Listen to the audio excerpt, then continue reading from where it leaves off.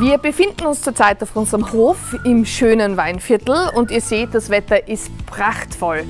Und eigentlich wollte ich heute ein Brathuhn zum Mittag machen, aber aufgrund des schönen, schönen Wetters habe ich umdisponiert und ich werfe den Grill an. Wir eröffnen die Grillsaison und ich mache etwas, das ich schon lange ausprobieren wollte. Ich mache ein Bierhuhn.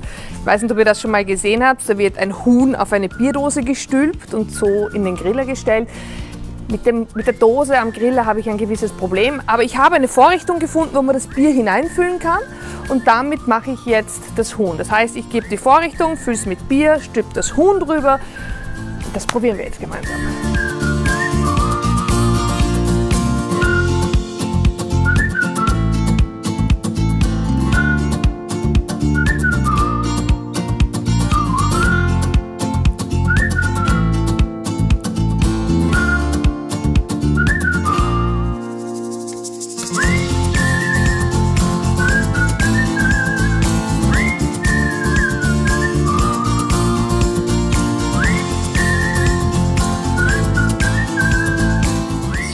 Sollte jetzt 200, 230 Grad eine Stunde lang im Griller sein.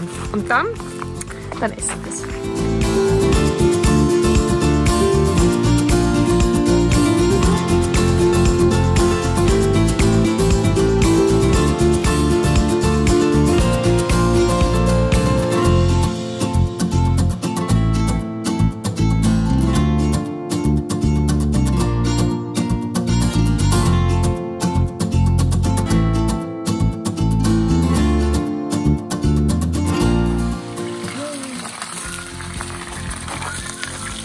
Die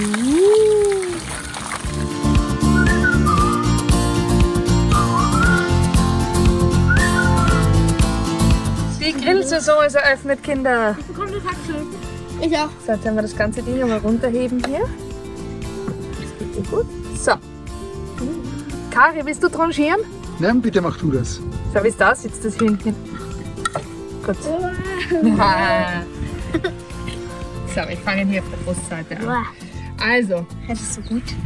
Ja, das Auto, das Fleisch sieht gut aus. das weiß ich kann euch nur sagen, das Messer gleitet durch das butterzarte Hühnchenfleisch. Eine super coole Methode, um ein Huhn zu grillen. Man kann es mit Bier machen, man kann genauso gut Weißwein hineinfüllen, was antialkoholisch will, mit ein bisschen Fond, mit Knoblauch und so weiter. Man kann das aromatisieren, wie man möchte. Und ähm, in Wahrheit war mein Huhn jetzt dann schneller fertig, weil es hatte 1,4 Kilo. Es hat jetzt gebraucht 40 Minuten bei 230 Grad. Man muss sich das einfach ein bisschen an seiner Hühnchengröße orientieren. So, wer will eine Brust? Ich, nein, ich doch. Haxel. Haxel. Sache will, glaube ich, eine Brust. Ja. Haxel ist das Beste. Aber sag schon mit der Hände essen, bitte. Ich gebe das mal hier rauf für Papi. So, Axel. Gut, in diesem Sinn, wir verabschieden uns. Ich habe jetzt hier sehr viel zu tun. Hühnchen sind ein.